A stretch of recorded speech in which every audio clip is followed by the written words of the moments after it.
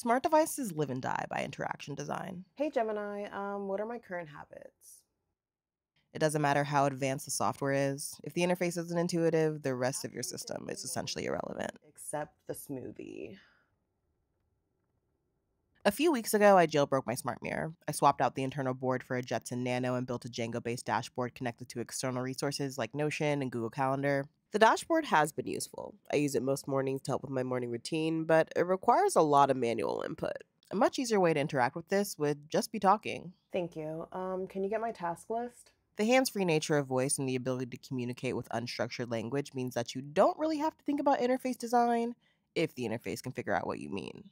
What are my events for tomorrow? Tomorrow is May. Large language models are excellent at extracting meaning from unstructured text, but they typically produce unstructured text. Function calling can standardize outputs and is supported in most LLM APIs, but it can be complex to integrate an existing API without some actual work. Model Context Protocol standardizes tools and interfaces for large language models, allowing you to transform a simple chatbot into an agent. There are many existing APIs that have defined their own MCP servers, but you can also build one yourself. There are many details to MCP, but two core concepts are tools and resources. Tools are callable functions, things the model can run with arguments like API calls or update operations. Resources are intended to represent databases, documents, or other semi static content that the model can reference but not mutate directly. Prompts are also important and can streamline common use cases, but I like the fact that you can integrate all of your data and ask any question you want. Can you create a schedule for me tomorrow? Make any It's pretty straightforward to turn an existing API into an MCP server. I use the fast MCP server class, making everything a tool. Conceptually, my databases are more like resources, but it's simple to signal to the LLM that a tool contains data by naming it with the word get.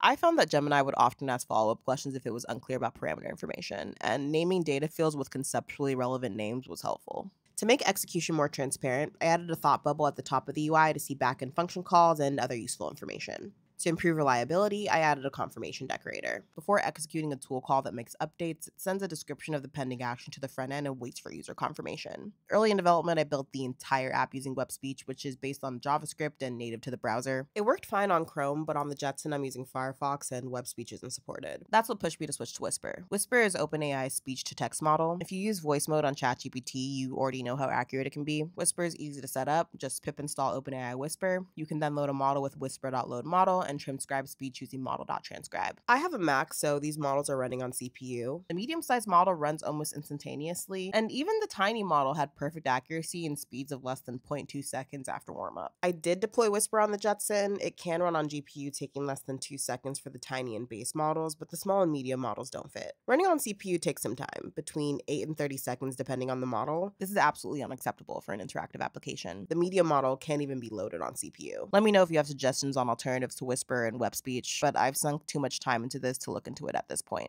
Another issue with the Jetson is its placement inside the mirror. While it gives the mirror a sleeker profile, I have to open it up whenever I want to make changes to the device that can't be done purely via the keyboard. This was pretty annoying when dealing with microphone input, so I decided to take the Jetson out and feed the HDMI out of the Ethernet port opening, removing the original mount. Honestly, this Jetson is probably not the best choice for the kinds of things I'm trying to do. This whole setup is still pretty buggy overall, but let me know what you think. Obviously, this is a personal app, so I was already pretty happy using it as a simple interactive dashboard, but voice just makes everything easier. Well, can you give me an affirmation to take me throughout the day?